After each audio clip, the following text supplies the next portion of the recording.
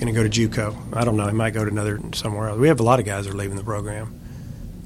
You mentioned so you mentioned Cole Turney. Is that the Dundee. Yeah, he's going to go to junior college. Needs to get some at bats. Only got like ten at bats last year. Really struggled. Um, you know, missed most of his senior year with injury, shoulder, you know, ankle issue. Um, really struggling this summer. If you look at his numbers, it's uh, it's been a fight for him. I think you know, just talking with Cole, it's it's like he told me he needs to he needs to get some confidence, and uh, hopefully he can go somewhere where he can get the lineup and play every day. I think that's going to be big for him. Mine was that his idea or um, probably more ours. Um, Bryce wants to start. We see him as a reliever.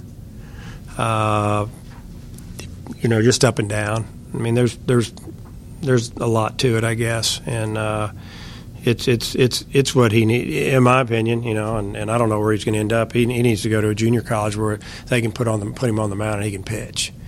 Uh, it's kind of up and down, strike zone, a lot of things jumping around on him there, and uh, just just to be able to, to, to prove that, that he's he's ready to help your team win. You know, he's a guy that you know he's got a lot of uh, he has he has a lot of talent, you know, with arm strength.